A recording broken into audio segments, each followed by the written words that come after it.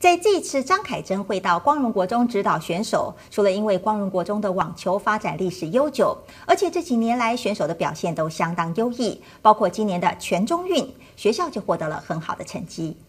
抢眼的亮黄色运动服是许多人对光荣国中网球队的印象。这支成立有数十年历史的网球队伍，成绩可以说是越来越亮眼。今年甚至还拿下全中运女双冠军。光荣国中的网球队。那这几年成绩非常好，在我们张文龙教练指导之下，我们获得了全中域女子双打的金牌，女子团体的第二名，男子团体的第三名。那我们的孩子真的非常棒，而且非常努力。然后在这些成绩领导之下，我们现在会努力发掘一些选手，然后。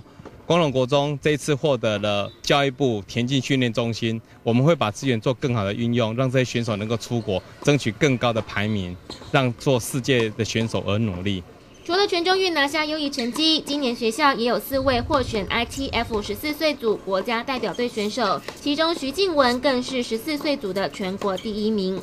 感谢我的教练，就是辛苦，就是他很辛苦，就是陪你们这样一路走过来。那你未来有设定什么样子的目标吗？就是希望以后可以跟张凯珍一样，嗯，希望可以像他一样有什么样子的就是打赢那个世界球后。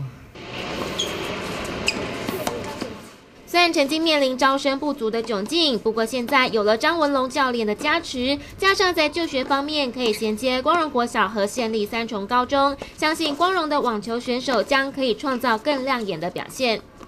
天马天新闻，方建凯、林景瑜三重采访报道。